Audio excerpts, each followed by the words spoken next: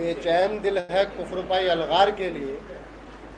बेचैन दिल है कुफर पाई अलगार के लिए, हम मुंतजर हैं फौज के सरदार के लिए। बेचैन दिल है कुफर पाई अलगार के लिए, बेचैन दिल है कुफर पाई अलगार के लिए, हम मुंतजर हैं फौज के सरदार के लिए। सरवर के गम में रोती हुई हर निगाह को, सरवर के गम में रोती हुई हर निगाह को शिद्दत से इंतज़ार है दीदार के लिए। सरवर के गम में रोती हुई हर निगाह को शिद्दत से इंतज़ार है दीदार के लिए और मैदान में दुश्मनों का जो पढ़ ले हसब नसब। मैदान में दुश्मनों का जो पढ़ ले हसब नसब, दस्ते इमाम चाहिए उस वार के लिए। मैदान में दुश्मनों का जो पढ़ ले हसब नसब, दस्ते इमाम चाहिए उस वार के लिए। अरे खुदा। मौला कायनात की।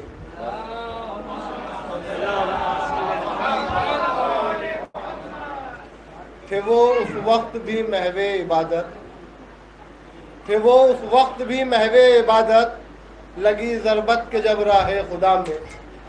थे वो उस वक्त भी महवे इबादत लगी ज़रबत के जब राह खुदा में। अली का एक सजदा रह गया था। अली का एक सजदा रह गया था, अदा वो हो गया कर वो बला में। अली का एक सजदा रह गया था, अदा वो हो गया कर वो बला में। मनकबत के सदस्या गुल महकते हैं इस ज़ुबान में क्या? गुल महकते हैं इस ज़ुबान में क्या? गुल महकते हैं इस ज़ुबान में क्या? मनकबत है अली की शान में क्या? गुल महकते हैं इस ज़ुबान में क्या? मनकबत है अली की शान में क्या? और जिस तरह आए रब के घर में अली, जिस तरह आए रब के घर में अली, कोई आया है उस मकान में क्या? जिस तरह आए रब के घर में अली, कोई आया है उस मकान में क्या? और तुम तो बुगदे अली की धूप में हो। तुम तो बुगदे अली की धूप में हो। खुद को समझो हो साहेबान में क्या? खुद को समझो हो साहेबान में क्या? और हम क्या हद से बढ़ाएँगे उनको? हम क्या हद से बढ़ाएँगे उनको? हम कहेंगे अली की शान में क्या? हम क्या हद से बढ़ाएँगे उनको? हम कहेंगे अली की शान में क्या?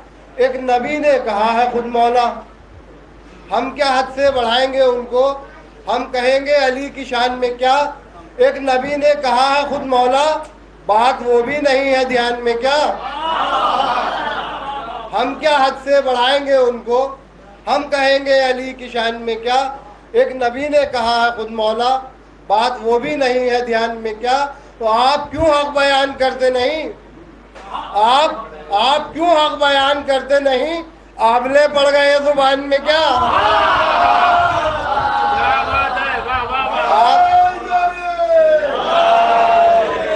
आप क्यों हक बयान करते नहीं? आबले पड़ गए ज़ुबान में क्या? और ए मोहसिन, जरा ये सोच तो ले। ए मोहसिन, जरा ये सोच तो ले, छूट गया तुझसे कुछ आदान में क्या? ए मोहसिन, जरा ये सोच तो ले छूट गया तुझसे कुछ आदान में क्या?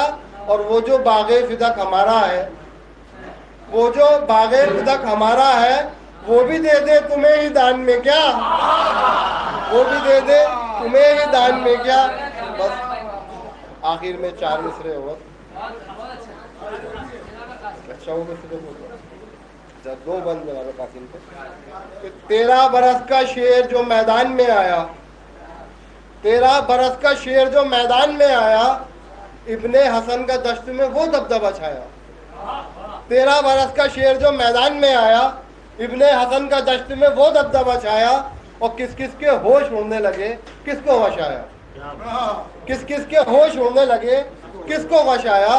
हैदर का एक वार जो कासिम ने दिखाया। किस किस के होश उड़ने लगे, किसको वश आया?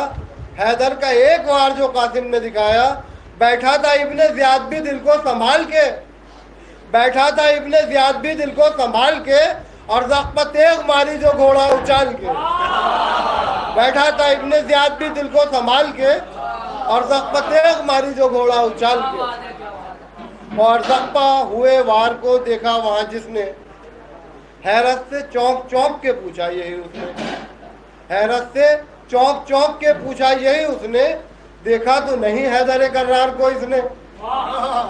हैरत से चौक चौक के पूछा यही उसने। देखा तो नहीं हैदर करार को इसने। फिर इस तरह का वार सिखाया इसे किसने? देखा तो नहीं हैदर करार को इसने।